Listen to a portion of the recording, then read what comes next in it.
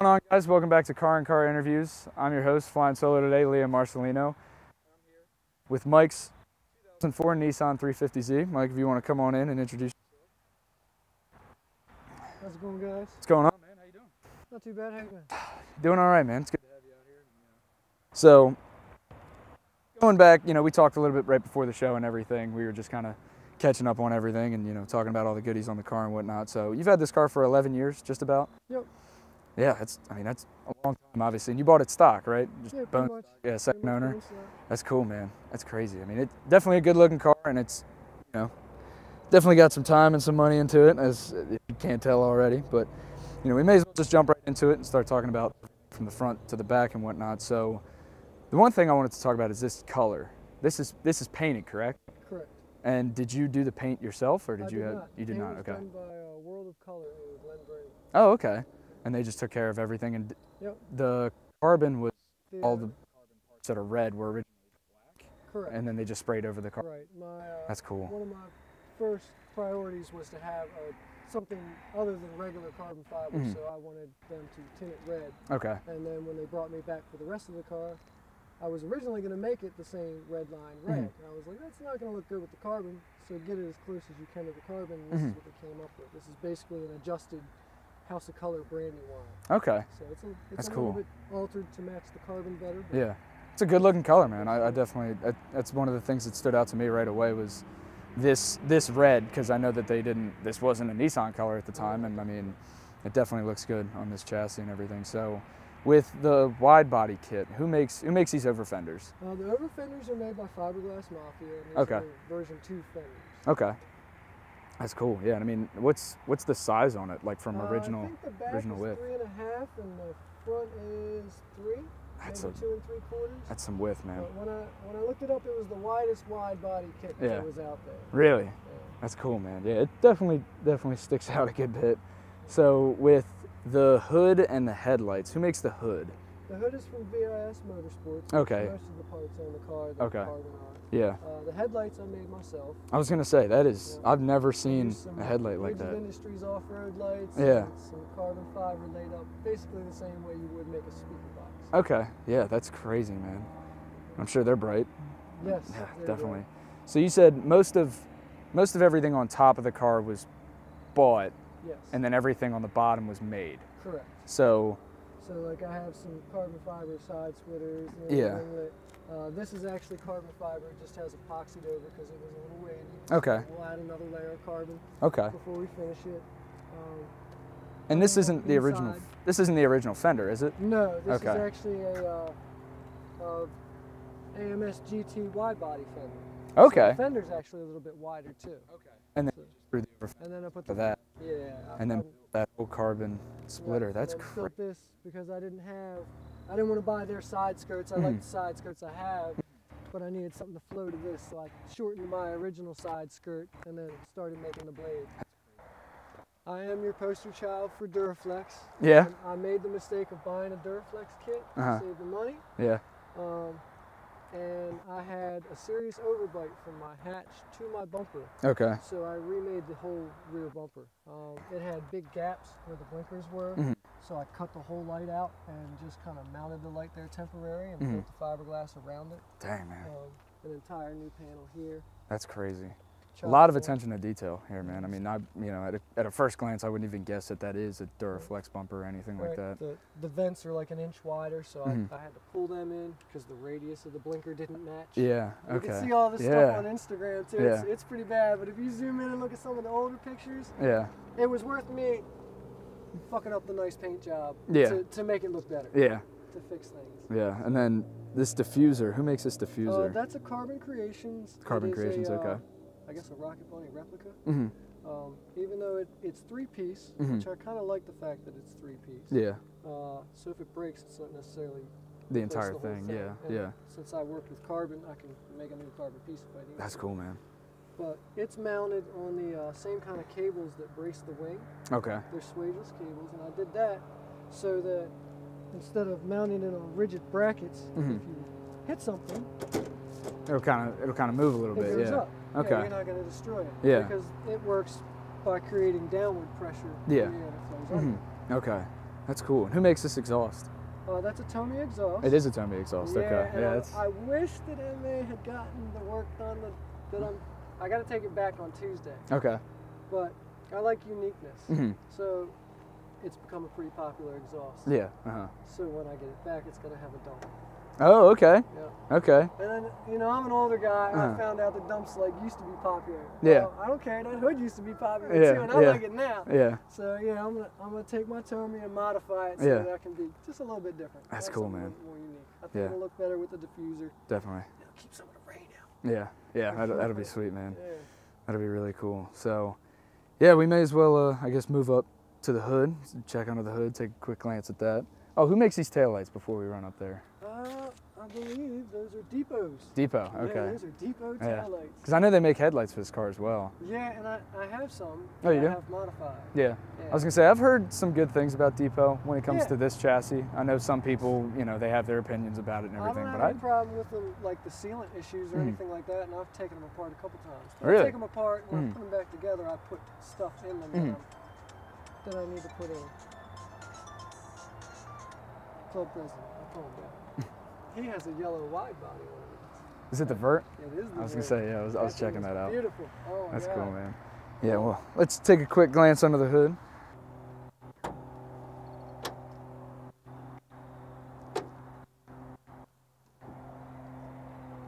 All right. So it's not bad. Needs to be cleaned up a little, you know. Um, Got some space in there. Some Yeah. space to party. yeah, I've spent some time. Yeah. Spent some time doing some stuff. I just replaced the valve covers. Uh, I did tuck the main wire harness, so there was a big ugly wire right Yeah. here. I shoved that in the back. and Yeah. Heat wrapped it and all that good stuff. That's cool. Deleted a pulley, so I'll be able to work my, my polishing magic down a little bit Yeah. further and a little bit further. Yeah. Uh, I did that. Took me like a month in my Mhm. bedroom. But I polished that all by hand. Started with a grinder.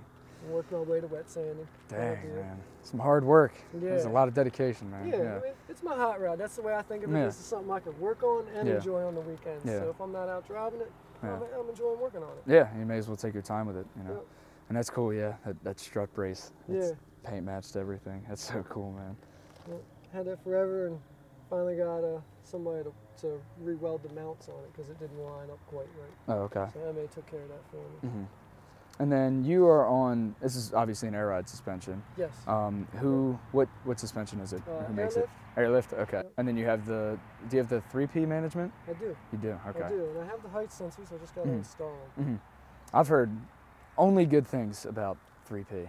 I, I mean, you know. Yeah, I, I Obviously no things happen. I use all five of my settings. My kid thinks I'm crazy because I'll drive down the highway and hit the button. He's like, "What are you doing?" I'm like, "That's highway mode." so I can't drive around like that. He's like, "You don't slow down." Like, Yeah. Go for it. Car doesn't know it's moving. yeah. Yeah, that is So true. hit the button. Yeah, that's cool, man. That's sweet. Well, let's go ahead and jump into the interior now, if you don't mm-hmm. mind. So, I didn't. I haven't even taken a look in here yet, and obviously I'm starting to notice a lot of different things. So, all these carbon pieces inside were. Did you make these? I did the entire interior. You made all of the. the Okay. interior. Now this is this is just built up over the factory door panel. So I stripped it. Uh huh. Learned a lot in the process. Yeah. Like how to stop carbon from delaminating Mhm. when you just bond it to it. Yeah. um, had to build up. I had to make this panel. This was made out of fiberglass. Okay. And then secured to it from the backside so that I could expose the speaker. hmm Uh, same thing that I did in the rear sound bar to expose the speaker. That is crazy, man. That is a ton of time. And it looks great. It Thank looks you. really good, man. Appreciate it.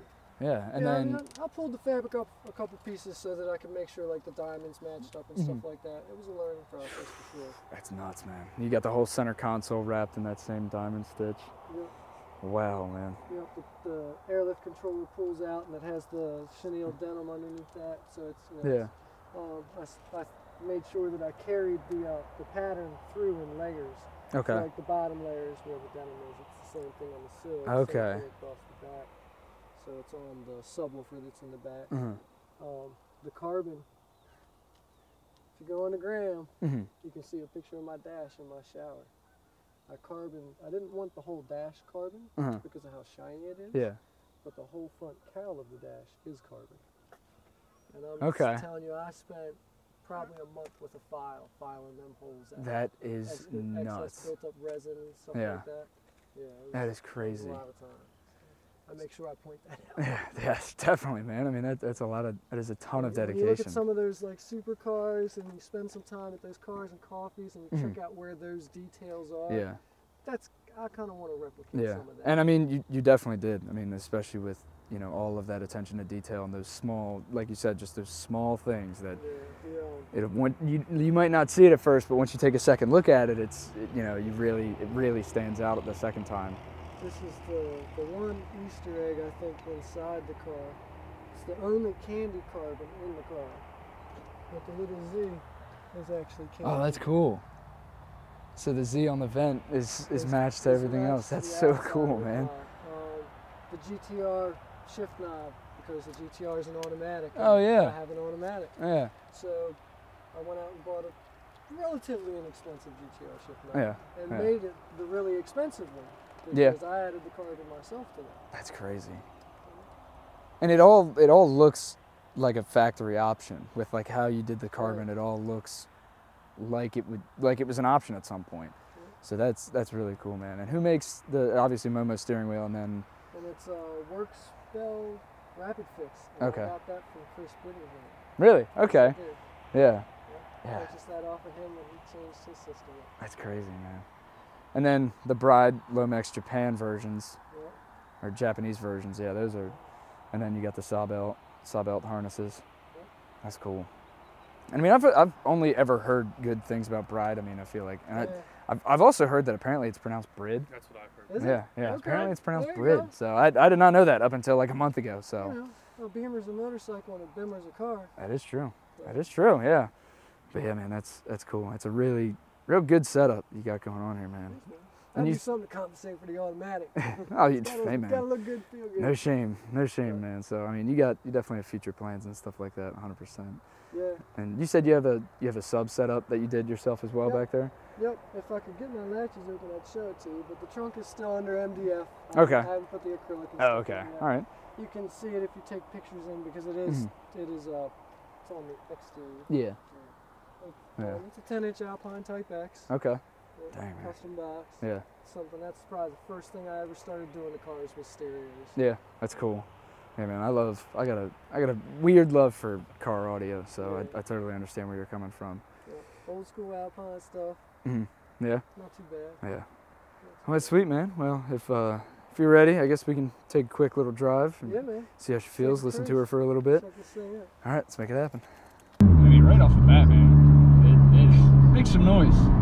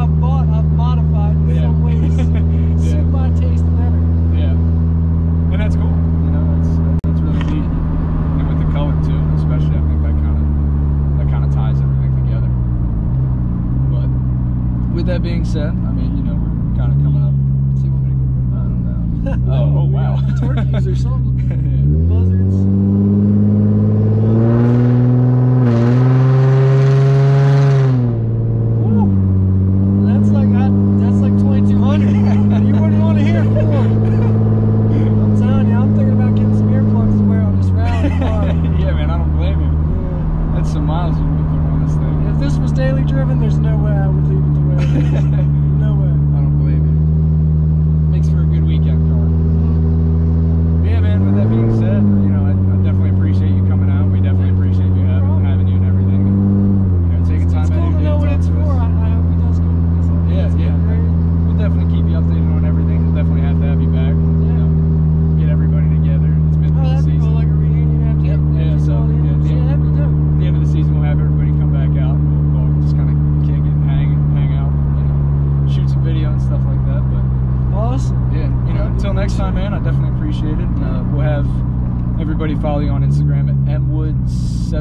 right? Yep. Mwood76, and uh, you know, follow us on Instagram at CIC Interviews. Uh, follow Gang at Dylan.Hos. Follow Brian at bbafford11. Myself, Liam underscore Marcellino. And, uh, you know, until next week.